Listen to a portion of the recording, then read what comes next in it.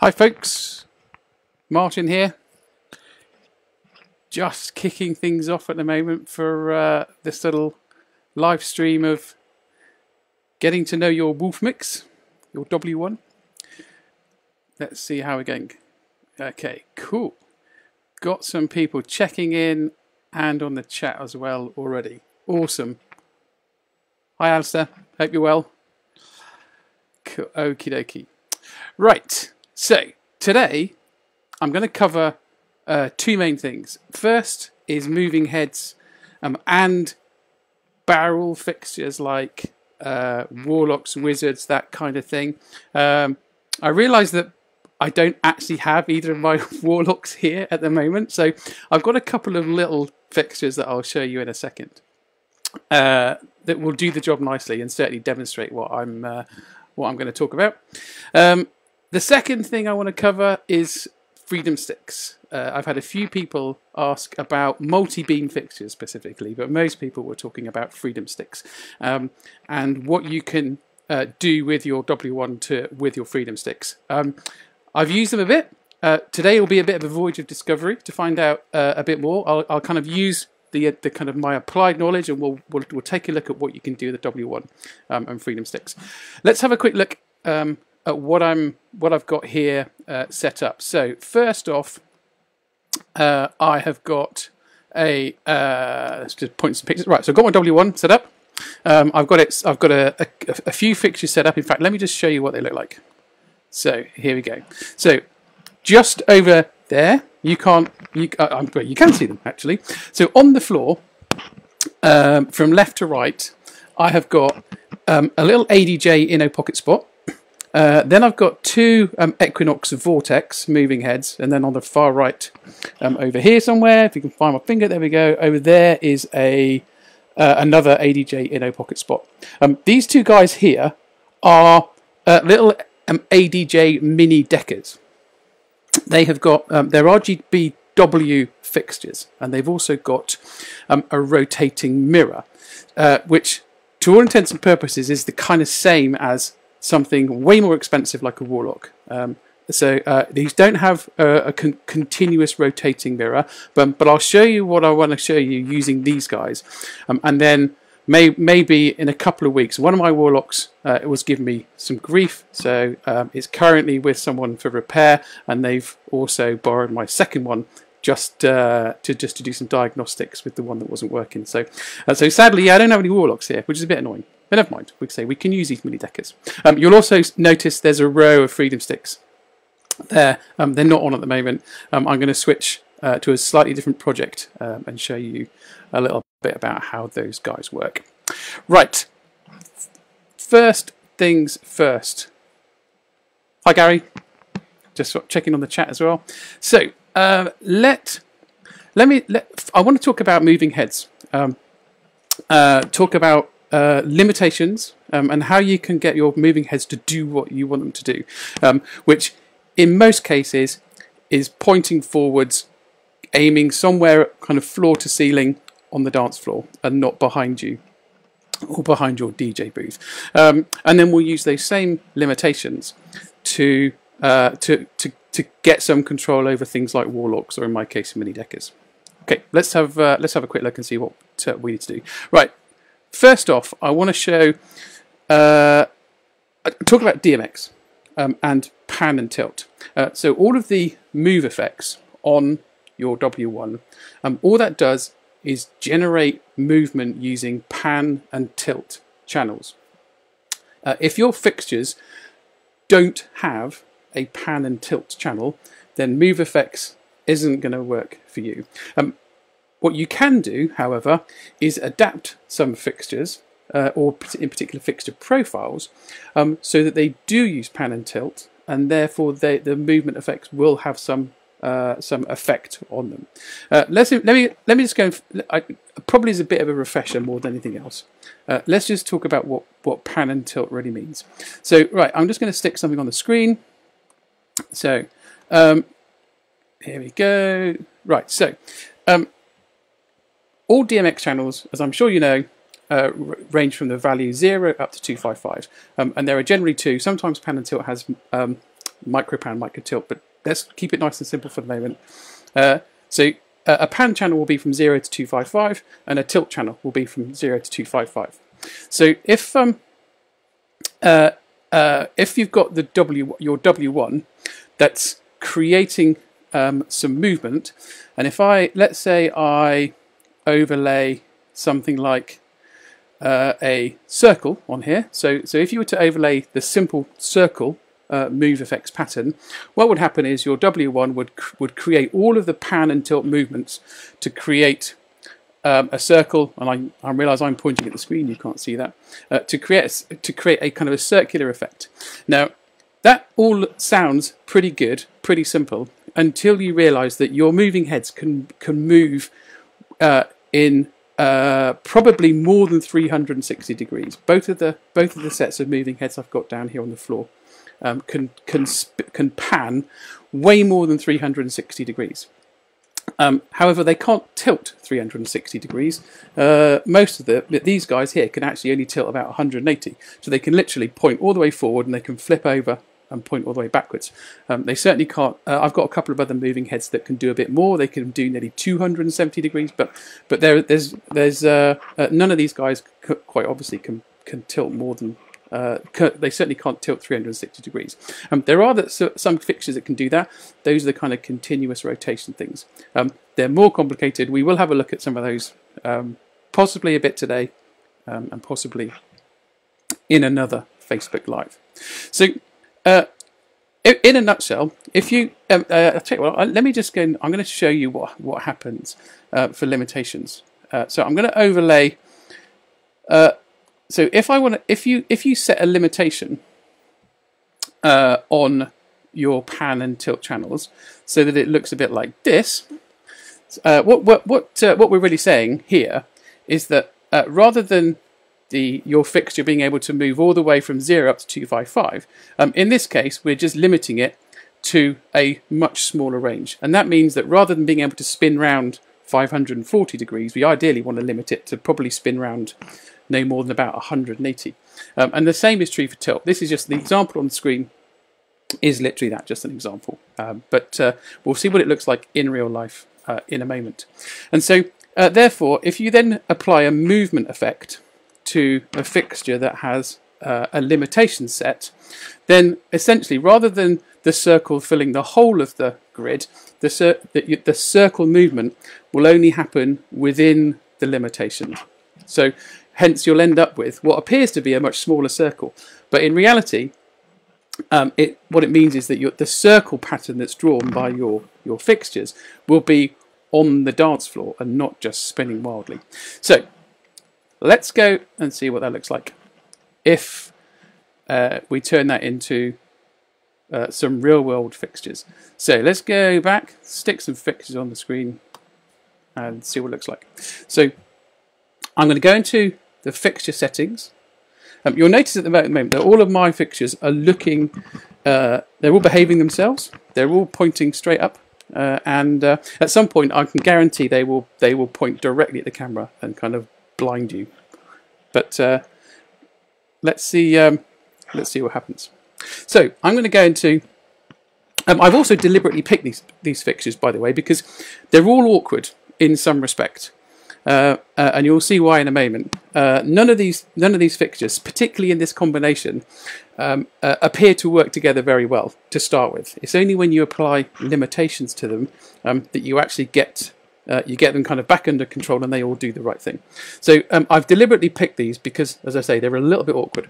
So I'm going to select um, on my W1, the, I, you're probably not going to be able to see it, but I'll tell you. So I've selected the two inno pocket spots, and you'll notice that they've now gone white. And I'm going to select the limitations uh, button at the top. Um, and you'll see that I've already, oh blimey, I knew that was going to happen. They've kind of, they've now washed the screen. Uh, let me go see if I can turn those, maybe, can I turn those down? Might be able to turn the dimmers down on those actually. Let's go for uh. Let's turn the dimmers right down because they're just ridiculously bright at the moment. Hopefully they're not going to, let's, right, we'll try that again. Go into fixtures, select the two inno uh, pocket spots, go into fixtures view. Right, that's a bit better. So if I if I set my minimum pan and maximum pan so that it's a, it's it full size minimum tilt is zero maximum tilt is zero. You'll see that these guys they kind of look like they're doing the right thing. What I'm going to do is put my finger on the little kind of pointer here um, and I'm just going to drag it around and you'll see what you'll notice first off you'll notice that they all move but secondly you'll notice if you look at the Inno pocket spot on the left hand side for example you notice that if I drag it from right to left it's going to go around uh, that's a one whole turn and then about another 180 degrees as well. So, uh, so this thing can spin round almost one and a half times. Uh, you definitely don't want it to be doing that because that, if it if it can spin round to point at you at any point, um, uh, then it it will do. So you so we, we apply limitations uh, purely to stop this these particular fixtures from spinning round and pointing at you. So uh, this is trial and error you need to you'll need to try it with each fixture. Um, they will not be the same. Um, but I, as I said earlier, I deliberately select these these two different types of fixtures because they're different, and you'll see you'll see why uh, in a moment. So what I'm going to do is is uh, work out where I want to, where I want this these uh, fixtures to pan from. So if you watch the the pocket spot on the left of the screen, I kind of want it to pan from about this point here uh, to about this point there. Right, that's as far as I really want it to go. And you'll notice where my finger is on the screen that that really isn't that far. Okay, so I want it to move from about here to here.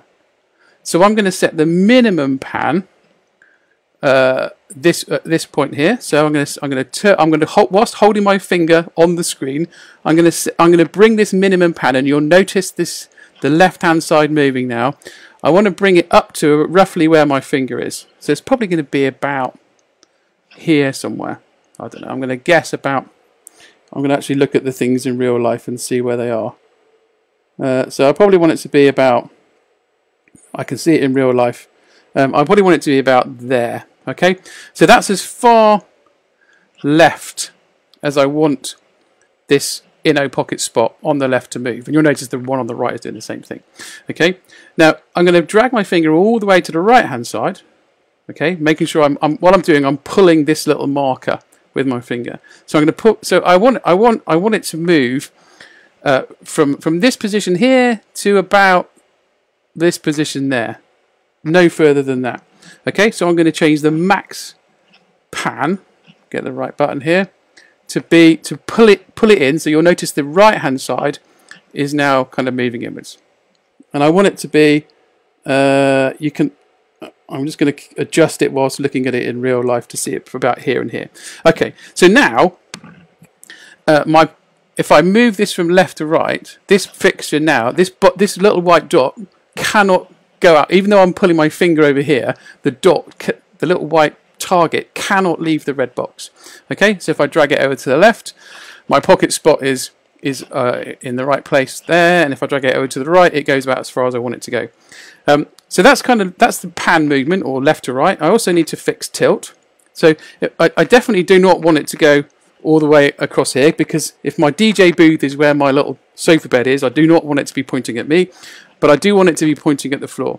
So that means the the um, the, the minimum tilt is probably about right at zero, but the max tilt is too much. So I'm gonna, I'm gonna, I want it to be about here. So reality, I probably want it to be about 50%, and I can, you'll be able to see on the screen. I realise I've got fingers everywhere. Um, that it does say max tilt 100%, and if I pull this max tilt down to about 50%, it's going to be somewhere about right. So I want it to max tilt about 50%. Let's have a look. So now I've ended up with a with a much smaller limitations box. Okay, and my pocket spots uh, go as that's as far left as they'll go. That's as far right.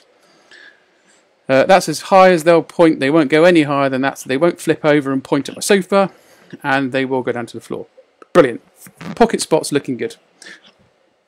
Okay, so I'm going to simply uh, exit the, the fixture setup for pocket spots, and I'm going to do the same thing for the vortex. So unselect the two Inno pocket spots and then select vortex. These guys are going to be a bit brighter. Okay, so uh, limitations for these again. Currently, this is this is the, where the limitations are set. I'm going to make it. I'm going to just go and max these out again so that you can uh, you can see them. Um, uh, right, ooh, turn that right. So I've got I've I've got minimum as 0, 100 100% uh, max. So again, you'll notice that these guys here, if you watch the vortex in the middle, you'll see that these guys can spin uh, from this point here all the way around to this point here. And now there's now the pocket spots are going to blind us, um, and they can keep going and keep going and keep going. So they can spin. These these vortex in the middle can go way too far. So what I need to do is apply the same kind of um, restrictions or the same limitations to these guys. So I'm going to say I, I want this guy to, to point, I, I, really want them to do that kind of movement from about there to about there-ish. Okay, so same principles, set my minimum pan up to up to this point here. So uh, if I look at them in real life, I can see that's about as far as I want them to move this direction. Maximum pan is probably about where my finger is, so I'm going to turn this encoder here, drag the maximum pan right in so that they can't go any further than this. It's looking pretty good. In terms of, so now you'll see they can literally, uh, they can they can move from here to here. My, the problem is that they can they can point to the floor, but they can also flip right over the back. So I'm gonna what I'm gonna do now is uh, set the minimum tilt uh, so that they can't flip over. Uh, minimum tilt. Crank this up. Increase this a bit. It's probably going to be somewhere in about the 50% ish again something along those lines. There we go. So I'm going to end up with something, a, box that looks, oh, blimey, right, I'm going to hold this out of the way so you can see them. Um, so I, you, uh, if you can see on the screen, I've got a much smaller limitation box. It's also in a very different place to the pocket spots. Remember, the pocket spots is over here. That's fine, all right? That's not an issue. Uh, uh, it doesn't matter. You set the limitations for the for the for each specific fixture. So I've got two pocket spots. I'll set limitations for those, and I've got two uh, these Equinox Vortex. I'm going to set different limitations for those. So if I kind of move this around now, you'll see it can go, it can point to uh, uh over to the left, can point over to the right. Um, it can, and if I put it in the center, it can point all the way down to the floor and then up to the ceiling. It cannot, it can't flip behind me. So looking pretty good. I'm going to exit that, save it, save this. Uh, I'm going to I'm going to see what happens. So I'm going to deselect these two these two fixtures. Uh, I'm going to I'm going to without using any movement effects on the W1. I'm going to see uh, what happens if I try and choose a position for these guys. So I'm going to I'm going to see what happens if I tap floor for each one. And and you think, right, it's not kind of done what I was hoping because I've pointed, I've selected floor uh, for uh, group B, which is the uh, the moving spots, the Inno pocket spots, and group C is these moving wash, these Equinox vortex in the middle. Uh, but the vortex are kind of pointing to the ceiling, not to the floor. That's quite common. That's another reason why I selected these fixtures because they kind of work in the opposite way to the to the pocket spots. And there's a really quick and easy fix for this. So if you tap floor and your and your fixtures are pointing to the ceiling, all you need to do is go back to the home, go into the fixtures, go to the the the two fixtures that uh, that are kind of pointing in the wrong direction. Set limitations, and I'm just going to move this so you can see. Um, you'll notice uh, that there's an invert pan, an invert tilt button at the top. So if the pan is going the wrong way, i.e. they're literally pointing to the ceiling when they should be pointing to the floor, you just tap the invert pan button. Okay? Now, when I go home, uh, deselect these two, go back to my position. So if I'm point, if I tap, uh, I'm going to just switch back to floater. They, these guys should be. Oh, did I select invert pan? I think I did. What a donut. Right, let's get it right. Limitations. Right, these. Let me just select the actual right fixtures for start.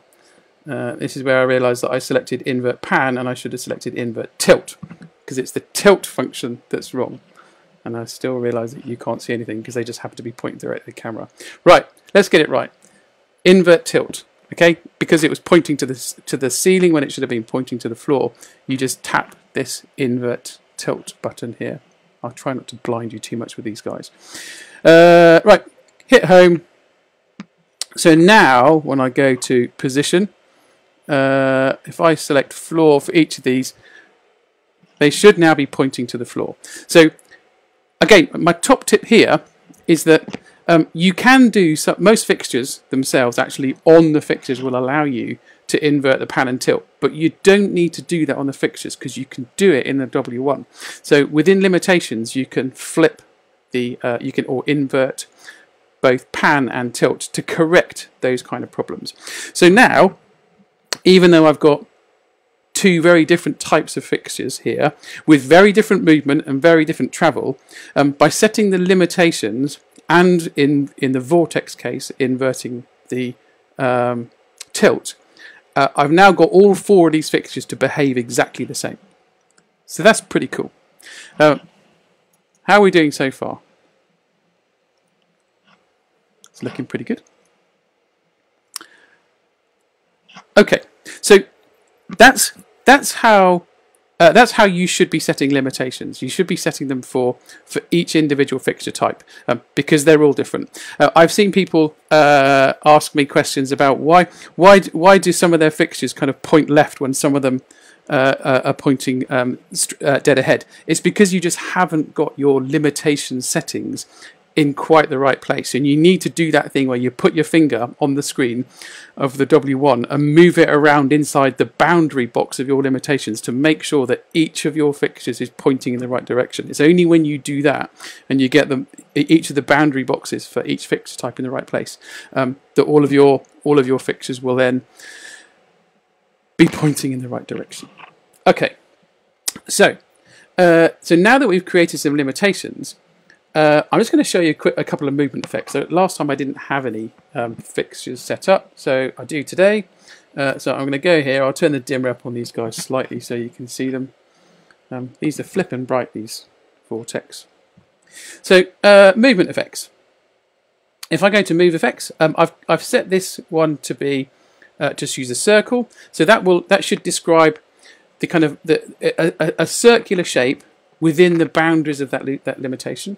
Um, speed is 50%, size 100%. What size 100% means it will fill the boundary box. If you crank size down, it will not fill the boundary box. If you set size at 50%, it will make it half the size of your limitations boundary box, and therefore it will cover half the size of your dance floor.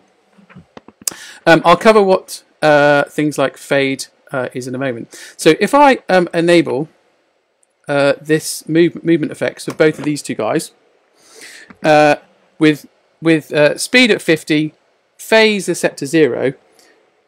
These guys should be doing pretty much exactly the same thing. Kind of looks like they are. I feel like it's a small win. So they're doing exactly the same thing. Uh, they're, they're describing a circle shape, or at least they're kind of a circular circular shape uh, within the entire boundary box. Uh, if I turn the size down, as I mentioned earlier, you're gonna you're gonna create a much smaller circular shape within within that within that boundary. So you can see they're not moving quite as much, but they're still producing a circle shape.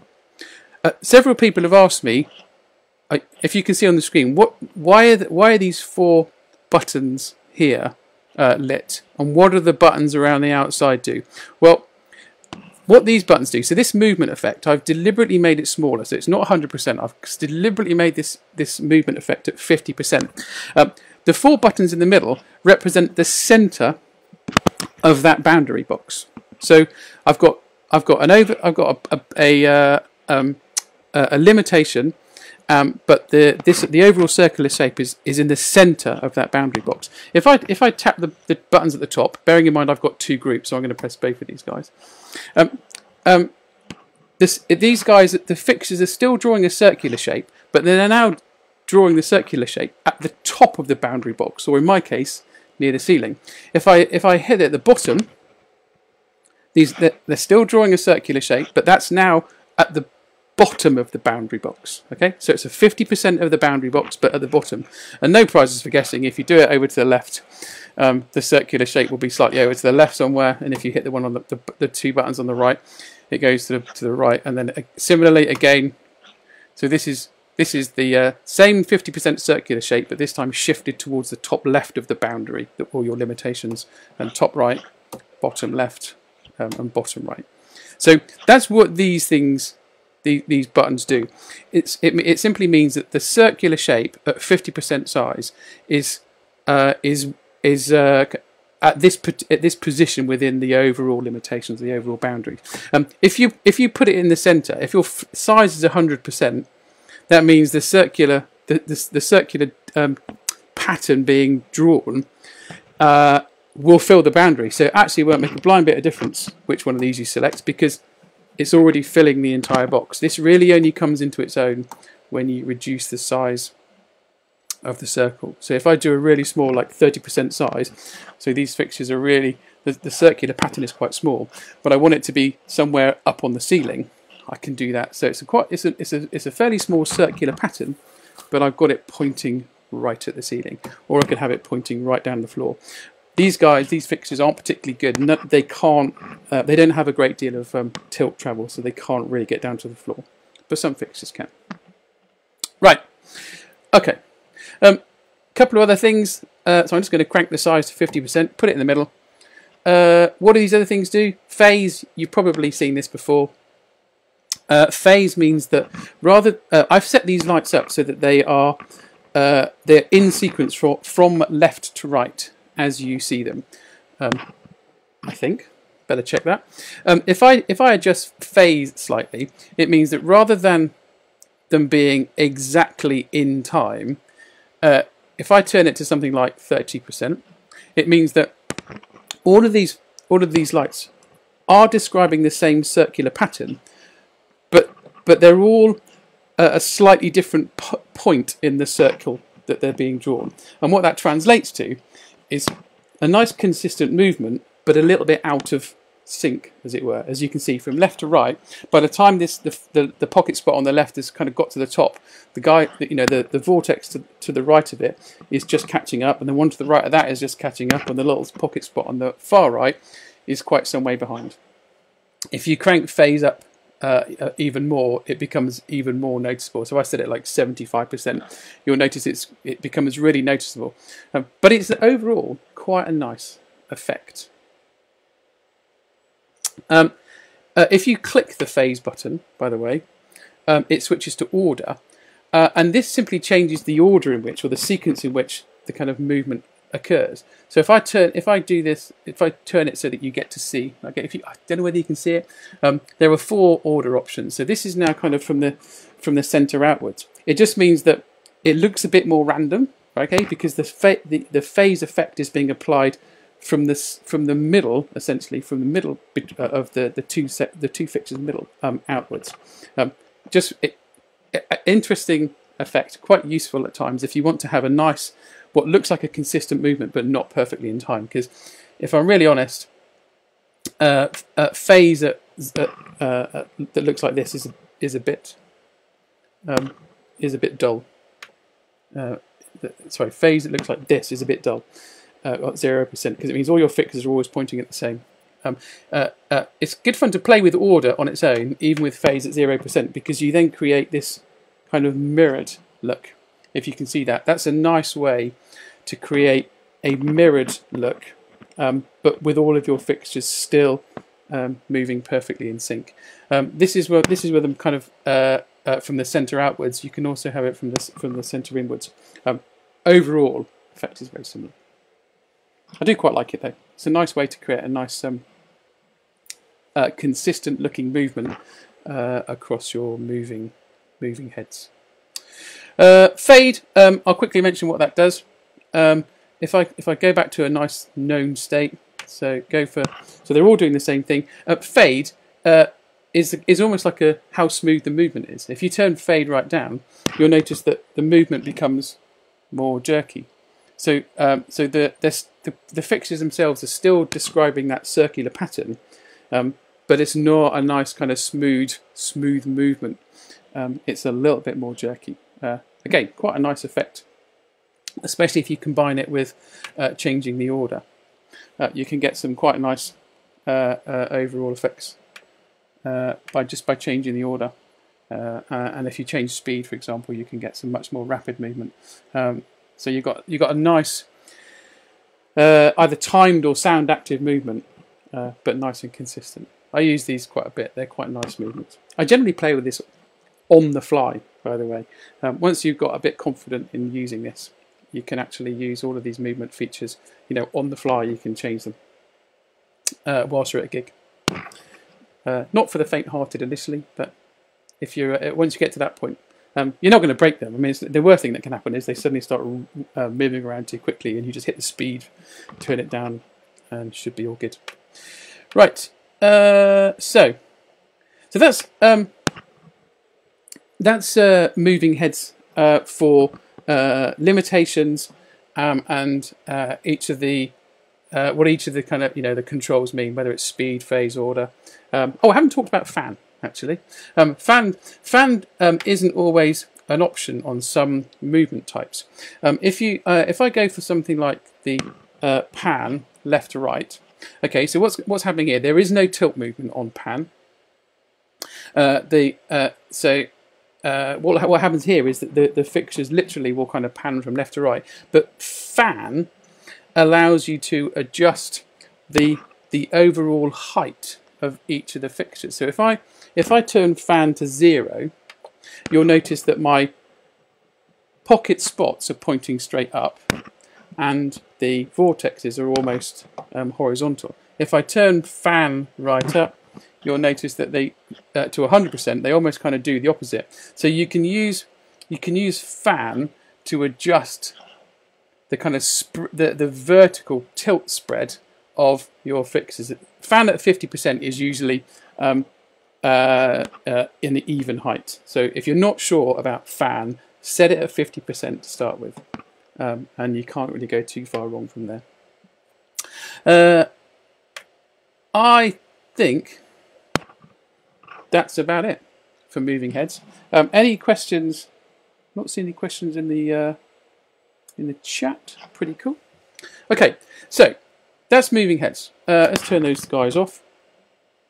Uh, and let's get, let's talk about the, the third the third type of light that I've got in the background here, uh, which are these Mini Dekkers, um, because these are interesting little beasts as well. Um, I'm gonna I'm just going to show you what uh, the fixture profile looks like for uh, for a Mini Dekker. Um, so if I if I quickly hop over on my uh, computer here to the uh, light cloud so I'm just going to show you what Light Cloud looks like. Um, uh, if you if you go for look at profiles, uh, if you go and search, if you want to go and search, if uh, if I search for the official uh, Mini Dekker uh, profile, let's see what's going to show up. So uh, here is the the official Mini Dekker profile. Uh, seems to be oh uh, LZR. So if I show you what this one looks like, um, I'm going to open it up in the profile uh, profile editor. Uh, you can see this warning message is because it's an official profile and I can't edit it, not surprisingly. Um, so the problem we have here, um, straight away, is that the Mini Dekker uh, does have a red, green, blue, white. Um, it has shutter dimming. It has motor function control, right? Little question mark there, uh, which means that that's not uh, the the L the the, the W1 will not know uh, what this channel means. It's got a little question mark, which means it's set up as an, a type of an other type of channel, um, but it won't know what it what it actually uh, what it actually means. If I could, if I quickly hop across to the Mini Dekker manual, uh, you are going to have to read some of the, your user manuals. By the way, sorry to have to break that to you. Um, if I look at the user manual for the Mini Dekker, um, you'll notice that uh, channel number seven is is called motor function control. Uh, and it has two ranges 0 to 127, which is where you can select a specific motor position, or 128 to 255 is rotation. Um, uh, things like Warlocks, uh, if I go and find my Warlock manual, probably got one of those open somewhere.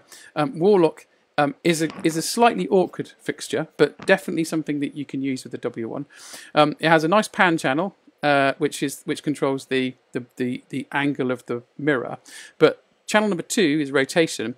Uh, this has got a number of ranges, um, and I was I was talking to or chatting via Facebook with Jason, I think it was last night. Um, this is this one is quite annoying because uh, the range of 10 to 120 uh, is a is causes the, the, the barrel to rotate clockwise uh, from fast to slow. Uh, the value 121 to 134 is stopped, but if you sneak from 134 to 135, it will immediately spin, start spinning counterclockwise very fast. So it goes from from from not spinning to spinning very fast. Um, I do wish uh, people like ADJ would uh, would invert this so that it was it would spin counterclockwise from slow up to fast again. Um, it just means that the Warlock is a little bit more tricky to control. What I tend to do with mine is just use one of the, the rotation directions and I will show you how. So going back to the, the profile builder uh, for the Mini Dekker, um, I can see immediately that, that because this is an unknown channel type, uh, it's uh, the, the standard profile for a Mini Dekker and the standard profile for things like um, uh, I think the Warlock might be better actually. Um, Wizards as well, um, I think, is also causing people some grief. Nick, uh, one of my good buddies, uh, was uh, is struggling with some um, no, it wasn't Nick, someone else, struggling with wizards, rush wizards, um, because the the profile for those doesn't have a defined um, pan or tilt channel. Uh, so um, how do you get around that? Well, you either speak to the guys at at uh, Wolfmix nicely, or uh, you can do what I've done, which is uh, to create a profile myself. So if I go back to uh, my own profiles, so I'm going to select mine, my own Mini Dekker profile, and uh, select mini. Oh dear, if I could spell it correctly, that'd be even better. Um, so I should have my own profile for Mini Dekker. This is mine. So if I go and open this guy up, hopefully that's what you're seeing. Um, you'll notice that uh, mine is slightly different because for channel number 8 I've used pan, which means that the move effects will uh, will will actually allow me to control uh, the little Mini Dekkers.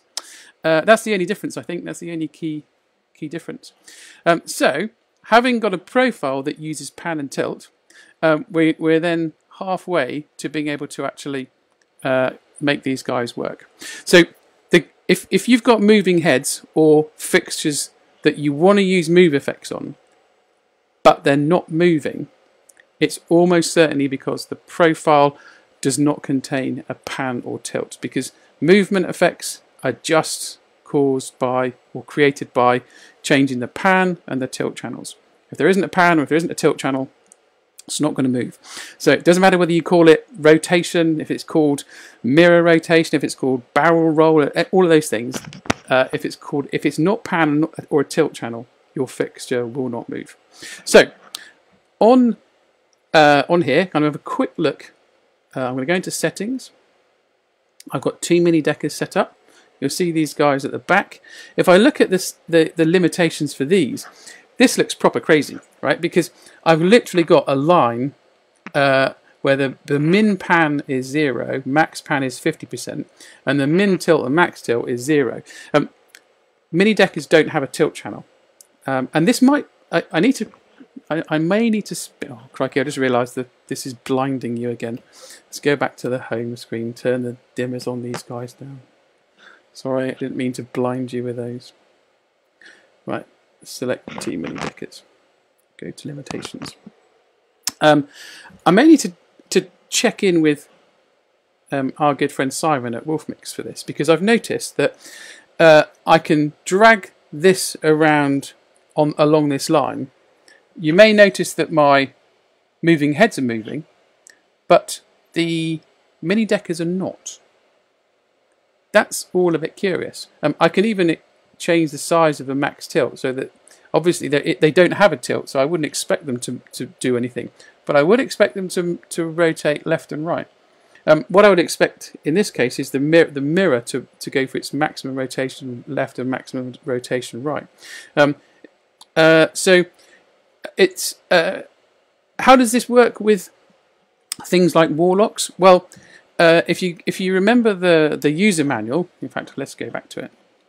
If I if I go back to the user manual for something like a warlock, uh, you probably want pan to, to, to span the whole of the screen from left to right because you want the, the mirror to be able to, to pan from left to right. But channel number two, which is rotation, uh, you will almost certainly want to limit to a very small section of uh, of just one of the rotations here. So if clockwise from fast to slow um, is 10 to 120, I'm going to guess that you probably want to you want you want the limitation to be somewhere in the region of like 100 to 120. Now, if I look at this in terms of limitations on the screen, you'll notice that it doesn't say 100 to 120, it's in percentages. And I have asked Simon nicely if he could put the numbers on the screen as well. Because when you want to use limitations for things like fixtures like a warlock, um, you really want to know that you're setting it about uh, about right. Okay, you want to know that you set it to a value between 100 and 120 because if it strays a bit beyond that, the thing can go. Your warlocks can go crazy. So for something like a a warlock, you're probably going to want to set. Um, um, I can't. I don't know what the actual numbers are, but it's probably going to be uh, like the minimum tilt is probably going to be. It's going to. Uh, I'm going to guess. I mean, you could you could do the maths and work out what 120 out of 200, or, you know, 255 is so with a calculator.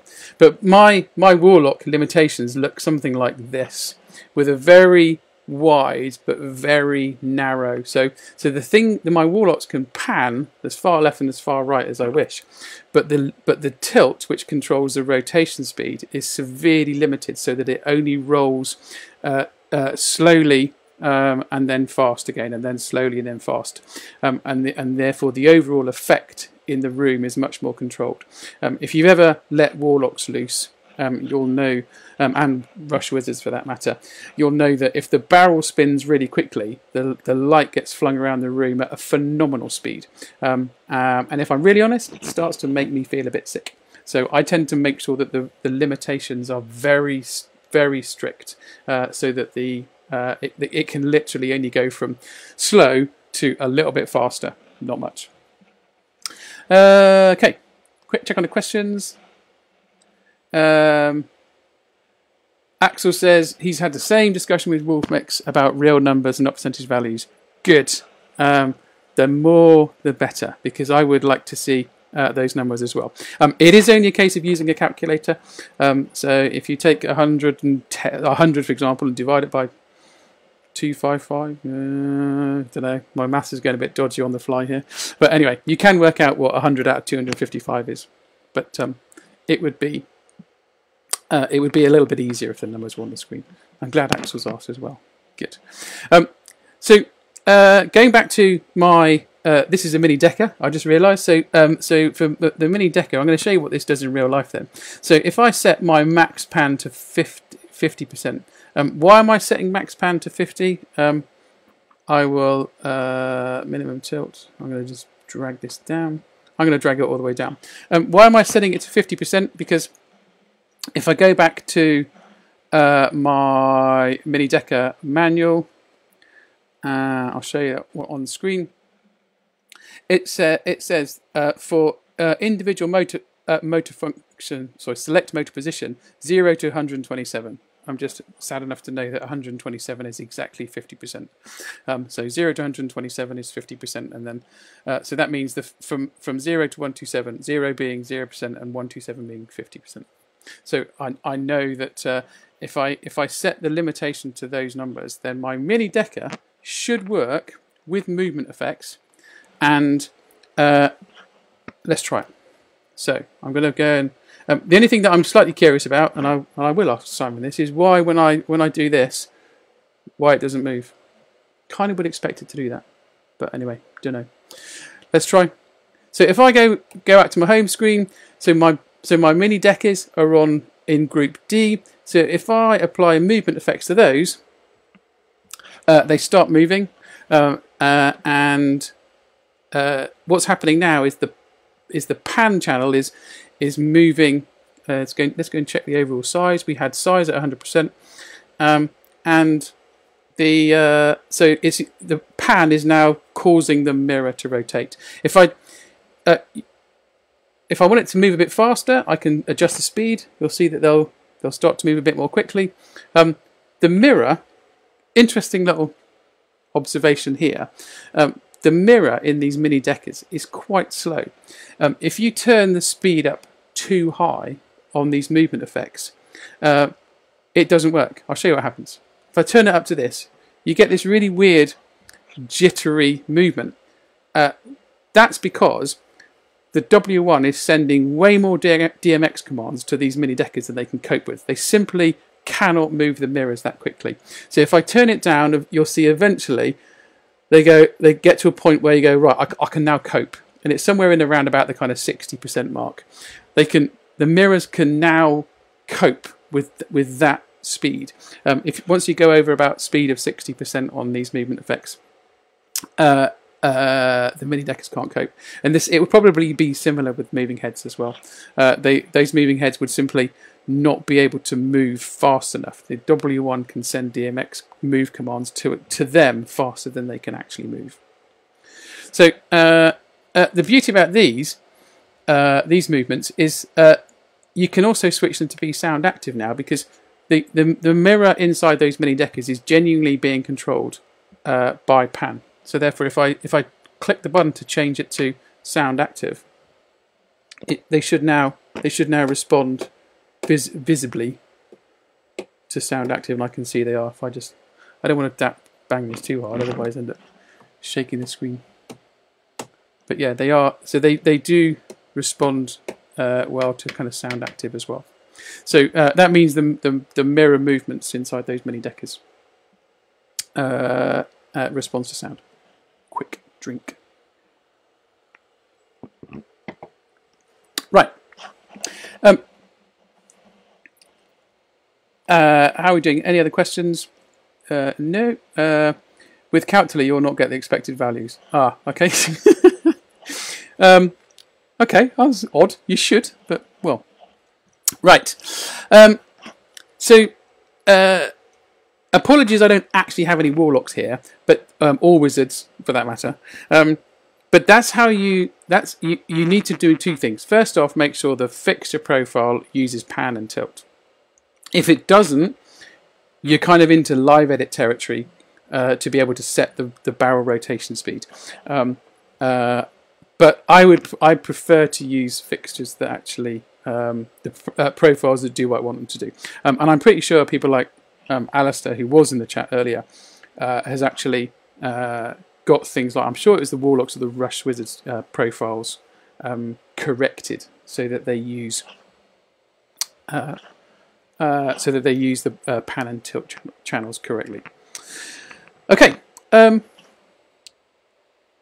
that's probably about it for moving heads um, and and barrels. Um, I can't think of anything else. Uh, let's have a quick. Uh, so I'm just going to go. Hang on a second. Turn some of these things off. So. Right, go back. So, uh, unless anyone's got any questions about, don't worry, still here. Good, that's right then. Um, uh, unless anyone's got any questions about moving heads, um, I'll move on.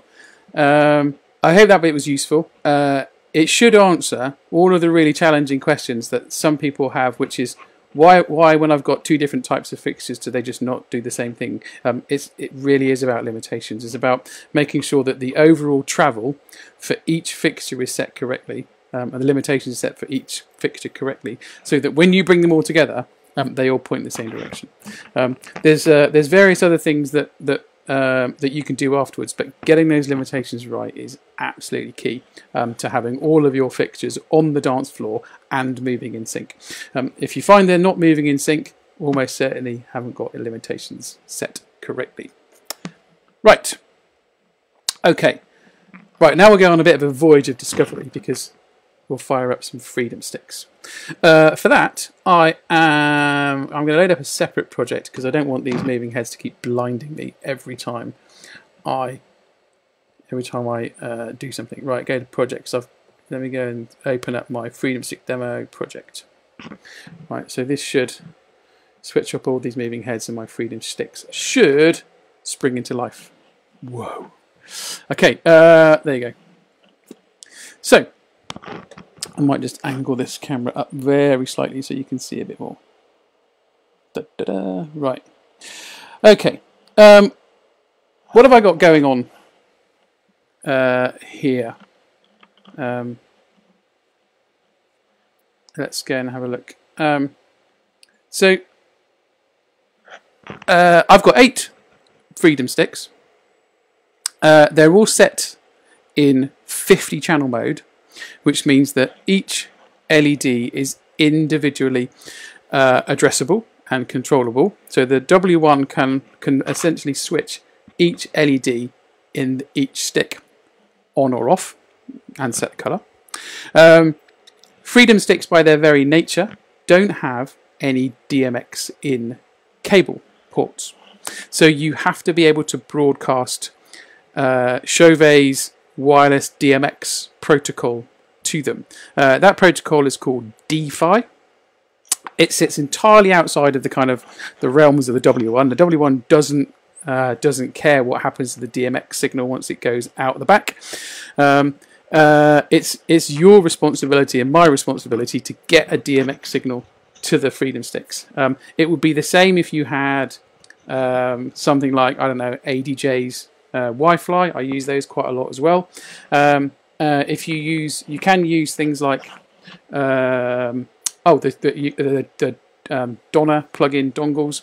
Uh, um, how you how do you get a a wireless DMX signal to Freedom Sticks? Well, you've got loads of choices. Um, it's a little bit outside of the, the, the kind of remit of this video, um, but you need something that will transmit DFi to them. That could be the Chauvet DFi hub. Uh, it could be um, another freedom fixture, like a freedom par, for example. Um, freedom pars, most people look at, at, at, those as a as a as a par can that you can control wirelessly. But it has a DFi transmitter in it as well. It's not just a receiver; it has a transmitter, so you can plug a a a, y, a, D, a DMX cable into something like a Freedom Par and have it broadcast DFi out to your Freedom Sticks. So that's another option. Um, the uh, the the new um, uh, DFi XLR uh, transmitters, um, the little kind of pack with the plug-in uh, dongles, um, also really good. Uh, excuse me. And um, the fourth option is the one that I'm using. You can't see it, but behind me, um, I've got a, a little Gobo Zoom. You can probably you can't even see it on the wall. there's a there's a Gobo uh, Zoom being projected on the wall, that particular fixture has the uh, Chauvet DFi USB port in the back. So um, that's how I'm that's how I'm controlling these Freedom Sticks.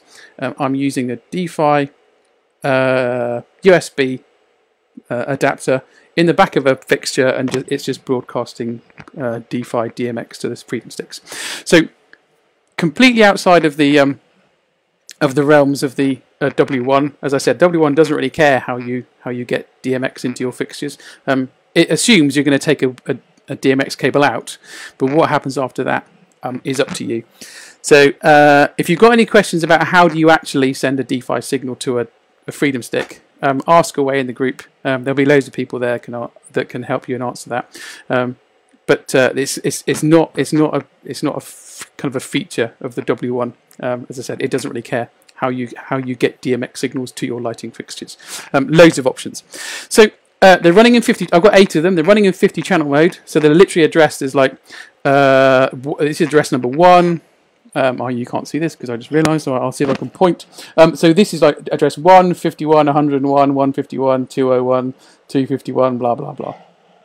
Um, uh, and, uh, uh, and then it really is a case of experimenting with the effects to to get something useful out of them. So here we go. Let's see what we can do. Um, at the moment, I've got uh, Freedom Sticks' group in my group A. I've got no color effects running and no beam effects. If you remember that little diagram that I showed you last time that shows you the stack, uh, that means that with no color effects and no beam effects, they should be just uh, showing the color that's selected on the color button. So this is some kind of, I don't even know what color that's supposed to be. It's supposed to be kind of a magenta, it isn't really. Um, so if I select amber, there'll go amber. Uh, this is a green, a kind of a cyan color. That's a darker pink, and if I click to go 6 to 10, right, they can go be red, yellow, darker green, blue, white. So those are the individual colours um, uh, that you can select. So you can, if you want to have all of your freedom sticks all the same colour, you can just uh, you can just select the individual colour here. But that's quite dull. So um, this is where we can start to look at colour effects. So if I go to the colour effects, now I've selected here um, uh, uh, I'm just going to talk through what I've got running. Um, so I've selected the rainbow effect. This isn't active yet, so the sticks are going to carry on being white until I activate the, the colour effects. I've selected the kind of rainbow fade. Speed is at 50%. Phase is uh, kind of 20, well, 20%, um, and fade. I'm just going to hit this and see what happens. Right. So what's going on here is uh, that the freedom sticks are changing colour between blue you, I'll, I'll, have to explain what's going on because I don't think you can see it quite clearly on the screen. Uh, they're fading between blue and pink with a slight phase. If I turn the phase off, you'll see they should go phase all blue and then all pink. If I turn phase to 50%, I'm going to guess that half of them will be blue and half of them will be pink. So you can see that um, oh, that's interesting. Um, I've just noticed that the order is going from what looks like the centre outwards. Yeah, it is. Look at that. If I click the order button, it's going from the centre outwards. If I switch it uh, to be left to right, you can you'll you'll see now that the pattern is kind of is wiping from from left to right. I can change it to be right to left. Uh, uh, you can play around with the order, so you can you can see that effect is is moving outwards. Uh, and uh, and then if I go for number four, that's the kind of effect, the, the color wash wipe effect moving inwards. Um, uh, fade, um, uh, it, it really is best to just have a play around with these and see what effects you can create. Um, fade determines whether the whether the individual LEDs fade on and off again. So if I turn the fade down to zero, you'll notice that they sort of ping on rather than uh, and and and uh, and, uh, and and switch color immediately. They don't fade from pink to blue. They they literally snap change. Um, if I turn the speed down on this, you'll see what's really happening because speed at fifty percent um, can be a bit deceiving. If I turn the speed down, hopefully you can actually see what's happening now. So I've got the speed down at twenty percent, and you can see that that the color effect is moving from the center outwards, uh, and you can you can see that there uh, each LED is changing. Now the eagle-eyed amongst you will will think, why why is it why is it why is the left and the right image uh, not the same? Why is if I if I just point my camera angle up a bit, it's hard to see the whole stick. Um, uh, you may be wondering why why the uh, this stick here, for example, if I point to this this stick here, uh, appears to the effect appears to start at the top and go downwards, whereas the stick here, the effect starts at the bottom and goes up. And if you stop and think about it for a moment, you'll realise that that's completely logical because these freedom sticks are addressed from from bottom to top. Okay, so the LED at the bottom is is the kind of LED number one, and the, the top one is 16. So if you imagine an effect, um, if these were all laid out end to end, it would make a bit more sense. But uh, but the reality is that uh, this is not the W1 getting it wrong. It's simply it's simply starting the effect from the center um, and treating the top the top of this stick and the bottom of this stick as being adjacent LEDs. Um, uh, it's uh, I've I've, I've had a couple of people ask me why does it why is the effect not symmetrical, um, and it's because of the way that freedom sticks are addressed. You kind of really, want to turn some of them upside down, um, but that's not in fact not easy. You can't do that. Um, loads of. Right, I've got a quick question from Al. Are the freedom sticks set to one DMX value? Uh, no. Uh, so these all of my freedom sticks are uh, addressed individually. So the, as I think I mentioned uh, just a moment ago, uh, the stick on the left is DM, DMX address one. They're set in 50 channel mode. So the second stick, so this guy is is a, is um, uh, if you can see, don't know whether you can. Uh, I think I've just moved it out of camera shot. That was a bit stupid, wasn't it? Um, so this, the, so the stick on the left is um, is address uh, freedom is address number one. That's 51, 101, 151, 201, 251. Uh, yeah, all the way up to uh, three uh, address 351. So yeah, so these eight sticks are using 400 DMX channels um, because that's how uh, Freedom Sticks work um, in 50 channel mode. So eight sticks, 400 DMX addresses um, are being used here just just for this show. Uh, yeah, not for the faint-hearted. Right. Okay. Um, uh, any other questions so far? Um, I have those. I just need to know how they talk to the Freedom Sticks. Um, one in the D-Fi XLR pack, uh, one of those little XLRs is a transmitter. Uh, so your best bet is to do uh, essentially what you what you should do. Um, don't plug a D-Fi XLR straight into the back of your um, W1. It might be quite tempting to do that, um, but actually, it's generally a good idea to put like a 50 centimeter or a 75 centimeter cable in between um, your W1 and the XLR D-Fi XLR transmitter. Uh, that way, um, it just avoids any kind of. I know there isn't any kind of Wi-Fi or radio interference, but get get your transmitter away from any other kind of electrical devices if you can.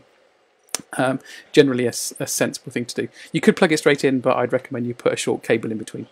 So uh, that that way, your uh, the the D-Fi XLR transmitter will then send DMX straight to your Freedom Sticks. Um, you don't have to buy the D-Fi XLR pack. I think you can buy the transmitter on its own. Um, although the pack is really useful because if you've got moving heads, uh, you can put the receivers in the back as well. They don't have to be Chauvet. You can put those D-Fi XLR receivers into into any fixture um, and make them uh, wireless DMX, which is really cool. Right. So let's have a play around with these patterns. So uh, color effects. Uh, uh I'm using this is the fade. Um, if I introduce a third color, like um, let's go, let's go for something really obvious like green. Um, you'll see that starts starts to look a bit like a fairground, if I'm honest. Um, it's not so bad if you put fade on there. Uh, you can get uh, you can get some rather nice kind of colours. Um, uh, if if you turn fade off, it, it's a very harsh change, and you can see you can literally see each LED changing. Whereas if you put some fade on there, it fades between colours, um, and generally looks um, a bit nicer. It's a, a bit less harsh. Um, but uh, what you what you're going to need to do is is is look at what you know what um, what colours you want to use, uh, and for for different for different scenes really. Um, first dance I kind of struggle with really because I'm thinking I probably want um, a, uh, a, a white uh, and something else, um, and you can. Uh, th this is I'm gonna I'm gonna delve into beam effects in a moment because that's that's this is probably this is one occasion where it becomes really obvious what what beam effects uh, does. Uh, but um, if you if you wanted to uh, flip between a kind of a, a, white and a very light cyan color uh, and switch to something like uh, the sparkle, um, that speed's probably a bit fast. So if I turn it down, um, so I'm now using the sparkle effect here uh, and turn the speed right down, um, you can see now that I've got, it's quite hard to see on the camera, but it's fading between white and uh, light blue. If I turn the if I turn the light blue off, it will just sparkle white on its own. If you put if you add another color very similar to white, you'll get um, you could go you could go uh, pink for example and then you end up with a nice kind of white and what looks a bit like a warm white. Um, in real life it's got a very faint pink hue to it. Um, uh, uh, you'll need the speed to be quite low but you can create some quite nice effects with this. If you if you crank up size um, that just has a bit of an effect on on the actual um, LEDs that are lit um, just it just changes the overall kind of groupings of of uh, of the of the lit LEDs. If you turn it down to to, to near or to zero, you see you'll see the effect is very different as if I were to crank it right up to 100%. 100% means that basically they all come on all at once and then they all fade off. Whereas if I crank size down um, to something like I don't know, we are we're like 30% now, you'll see that some some of the LEDs are on uh, quite bright, some of them are, are, are dim. Um, you can play around with order for this, you can play around with phase as well to create some slightly different effects. Um, but overall, you can you can create some quite subtle. I'm sure we all know anybody who's DJed a wedding will know that um, first dance uh, lighting needs to be very subtle um, uh, because uh, most of the time a photographer will not forgive you if you've got lights uh, everywhere um, and rapidly changing colours. So yeah, something as subtle as this um, is quite useful. Um, uh, the other, if if you look at some of these other effects, these are a bit more uh, rapid. So this is this is literally uh, wiping two colours from left to right. Uh, uh, the the kind of Saturday Night Fever. I'm not quite sure how this translates. I've never quite worked this out in my head, but this seems to uh, to alternate the colours that I've selected. So if I if I choose uh, two very or two or three very different colours, if I go red, green, and blue, for example, you'll see. Um, uh, oh, I've got white in there as well. Um, you'll see that this kind of alternates between these three. You can adjust the speed um, to uh, so that it's a bit faster. Um, but you can create some interesting interesting color patterns with this. But when it get where it gets really interesting is where when you overlay beam effects.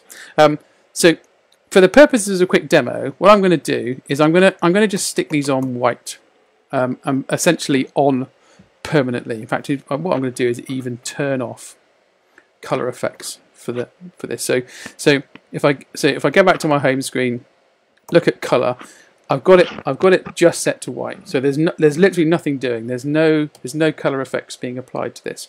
Um, this is where you can have a play around with beam effects because you here, what beam effects does is is not choose the color of the pixel, but chooses whether it's uh, the sorry um, yeah the LED pixel. It's um it the beam effects uh, chooses whether or not the the, the LED is lit or not, and whether it's whether essentially whether it fades or not.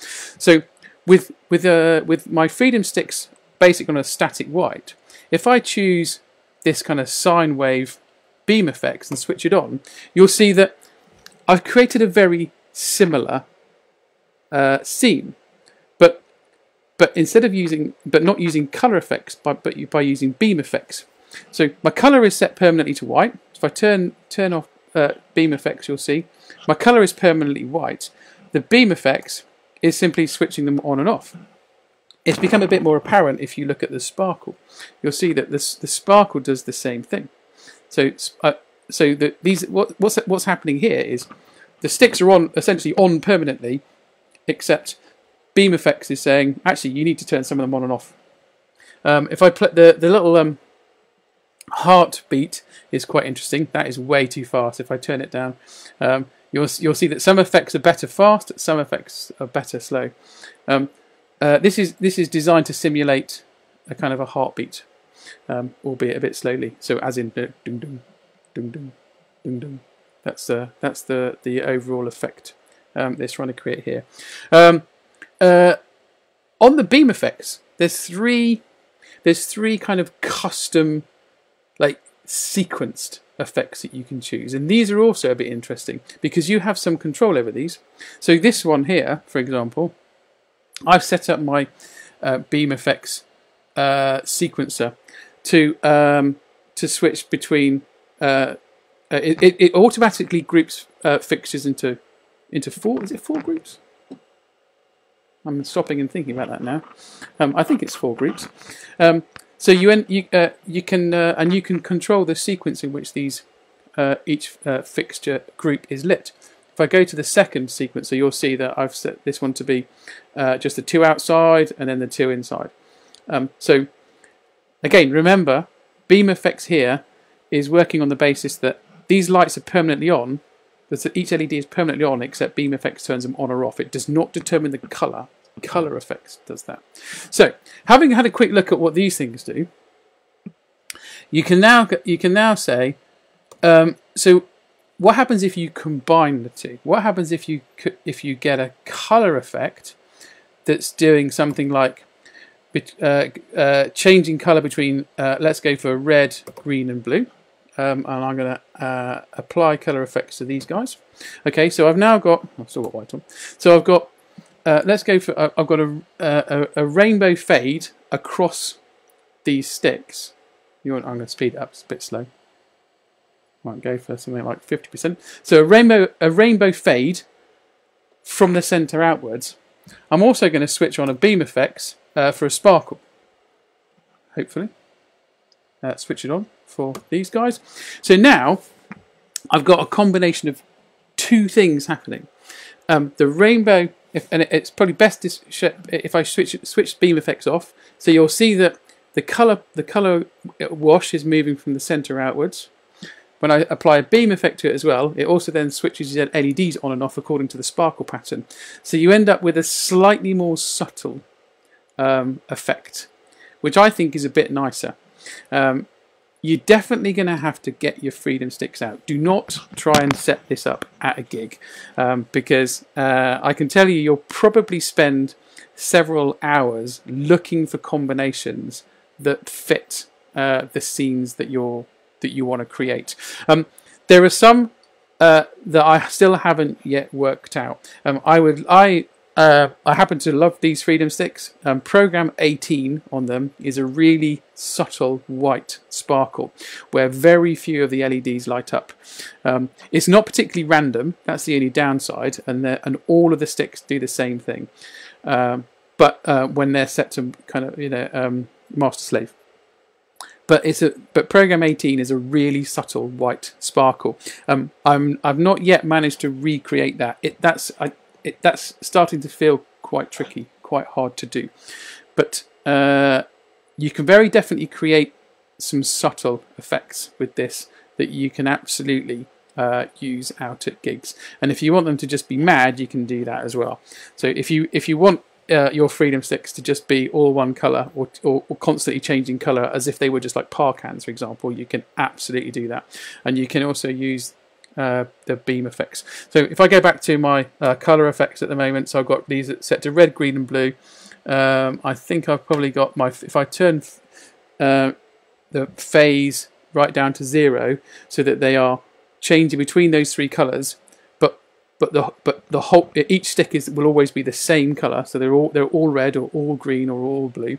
Um, you can see that you can create some nice uh, multicolored sparkles but it doesn't look like some sort of fairground ride um, I can't help feeling that it's all too easy to create some sort of carousel fairground ride uh, ride with these um, if you've got um, if you've got too many colors and uh, LEDs changing um, on and off Right, quick look at some questions. Um, right, also ensure that the same RC channel. Yes, absolutely. Good point, um, Alistair. Uh, uh, all Freedom fixtures uh, can run on um, one of 15 different channels.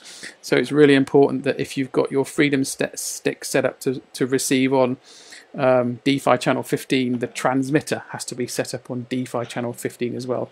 Otherwise, uh, you've got one person shouting and no one listening um, or the other way around. Uh, yes, they work great with my other fixtures, just trying to get my head around how they can talk to the Freedom Sticks. Uh, yeah, so in terms of using the D-Fi transmitters, yeah, that's just the, the D-Fi transmitters are just a means to an end. All it's doing is getting a DMX signal to the sticks. Um, sticks are just uh, are the um, they're a slightly awkward fixture in the fact that they, as I said, they have no they've got no DMX input other than via D-Fi. Um, so you just need something that will transmit D-Fi to them, and it really doesn't matter what it is. Uh, loads of options there. Uh, so um, I I kind of think that's about it in terms of freedom sticks. Um, there re- it, it really is just like in my case here.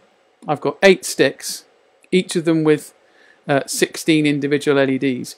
So I've got the best part of four, what is essentially 400 mini par cans that I'm playing with, um, and that's that's really as complicated as it gets. Uh, uh, uh, you may find that they they they sometimes do some odd things, but it's you have to remember that each stick is addressed from the from the bottom to the top.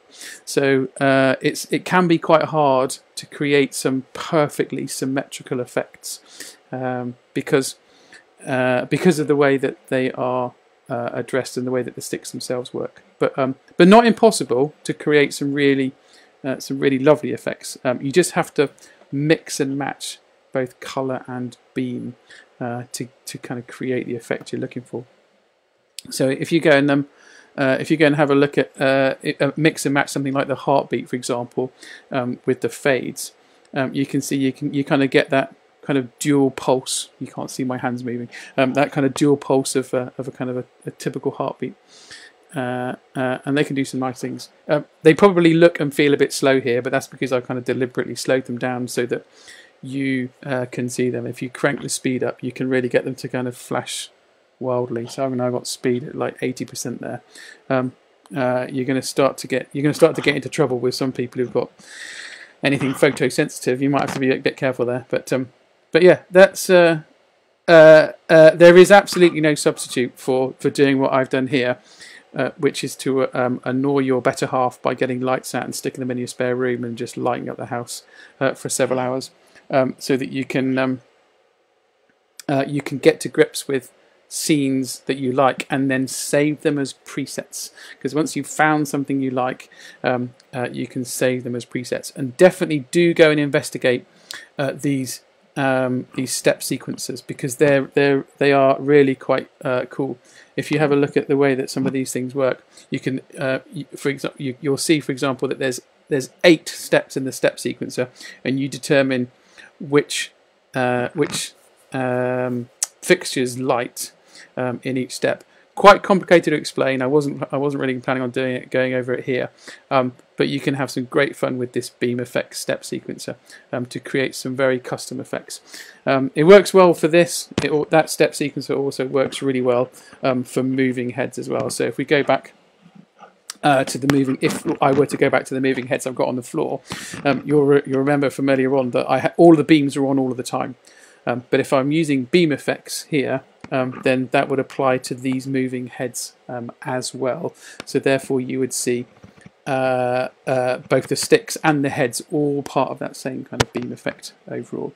Um, remember uh, that there is only one colour effect um, active at any one time across uh, any groups that have it active. There's only one beam effect active at any one time. Um, you can't have two different beam effects on two different groups of fixtures. Um, uh, bless it. This W1 is clever, but it's not that clever um, that you can have multiple beam effects. Um, okay.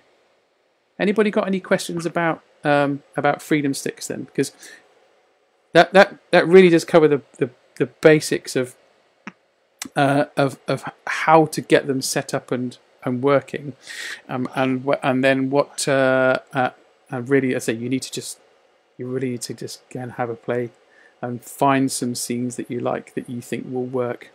Um, uh, particularly uh, paying attention to things like speed. Um, all of these things do different. All of these different controls of these um, encoders um, have a can have a very dramatic overall effect on how these things work. So as you can see, if I turn fade right down on this beam effect, you kind of create a, a very different overall effect because the lights, each LED is now pinging on and off. So there's there's there's an enormous amount of control here.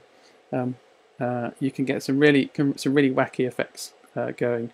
Um, some things, um, if you think that you can recreate the effects that, of the built-in macros from the Freedom Sticks, you're probably going to be uh, disappointed because um, what's built into the Freedom Sticks is there's some pretty complex programming going on there. Um, but that said, there are plenty of things that you can do with the W1 that the that the sticks themselves can't do. Um, it's not it's not it's not going to come close to individual pixel mapping, but that's a whole different ballgame. Um, uh, and uh, you'll need some pretty specialist software to do that. Um, but uh, I've certainly had a fair bit of fun uh, earlier on today having a play around with color effects and beam effects, and um, with some subtle changes, you can create some really incredible uh, effects that you can save as presets that you can use. Um, so, uh, final word from me then is that um, as part of this demo, um, I, I, separated. Uh, you'll remember I had two distinct projects. Uh, one for the moving heads and limitations, and I loaded a completely independent project um, for the Freedom Sticks. Uh, uh, for my normal gig setup, I usually have par cans in there as well, um, usually um, some kind of pin spot on my mirror ball. So all of my fixtures, and please remember that things like color effects, movement effects, and beam effects applies, applies across the board for all of them. So for the kind of purposes of this demo, um, I wanted to separate each of these fixtures out so that you could see specifically what's going on with those fixtures. But when you bring them all together, uh, as I said, don't forget that things like beam effects will apply to all of them. And that's one of the reasons why I have uh, a number of groups. If I can, so if I just go and load up uh, my normal kind of full setup project here on the um, the W1. So go back to uh, da, da, da. if I go back to load up my the, the oh, blimey, I'm being blinded now by these flipping things. Uh, let me turn these dimmer down because it's way too bright. Um, uh, that's why I've I've I've I've separated all of my fixtures into very distinct groups. So I've got pars, moving spots, um, such as the Inno pocket spots, moving wash, which is these um, Equinox uh, Vortex.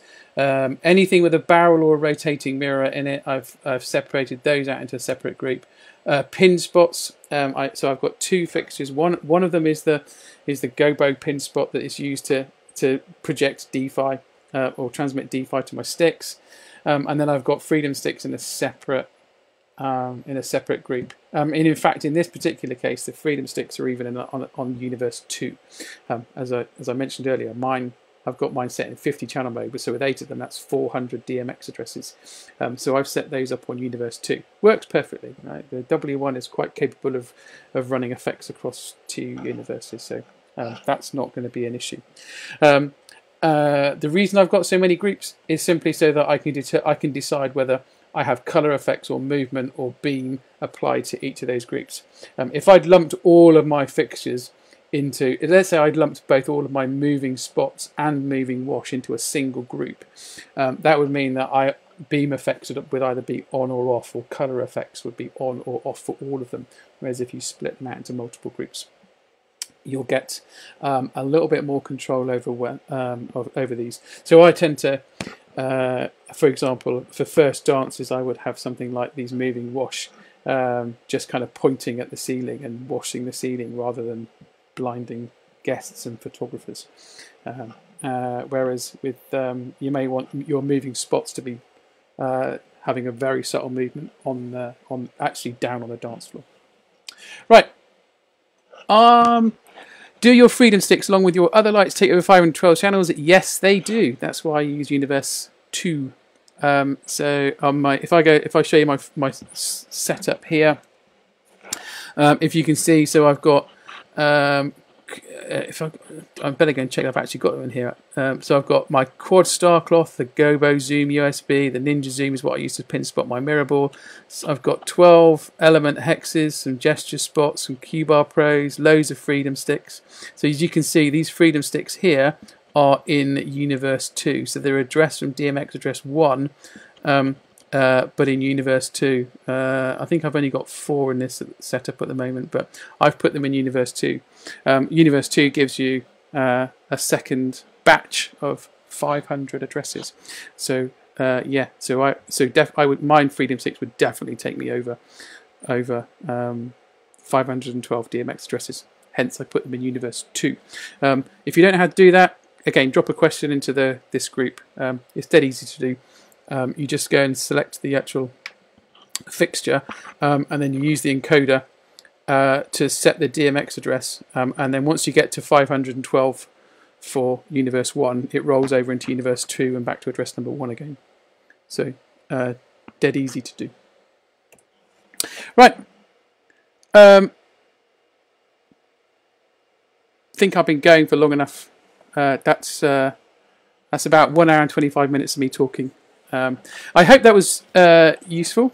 Um, I hope you got uh, something out of that. Um, if you are struggling, uh, always remember just drop messages into the uh, the Wolfmix discussion group, um, and there'll be somebody in there that has either done what you're trying to do or come across the issues uh, that you've been having. Um, and as, as, I mentioned right at the beginning, uh, profiles are really, really important. Um, and as is reading the manuals uh, for your fixtures, there is no getting away from the fact that uh, you need, if you're going to set limitations to to limit things like movement speeds on on warlocks, rush wizards, or anything like that, you need to look at the manual um, to see uh, what the values are. Um, you can't see those values on the screen of the W1, unfortunately. You've got to do it by percentages. Um, and I'm hoping that Alex and I will nudge Simon once more to see if he can put the uh, numbers on screen, uh, just to make our lives just that a little bit easier. Right, I'm going to uh, call it a day uh, there. I hope that was uh, that was helpful. Hope it was useful. Uh, do drop some feedback into the um, uh, into the chat and into the uh, to the group. Um, um, and if there's something you want me to cover again in in a few weeks' time, very happy to try and do that. Um, get some fixtures out. Uh, you should see what's going on behind me. Absolute mess of cables around here. Um, uh, but hopefully it's all it's kind of done what I was hoping it would do today, which is cool. Right, that's it. I'm going to sign off. Uh, thanks very much for listening, watching, and uh, I will see you again soon. Cheers. Bye.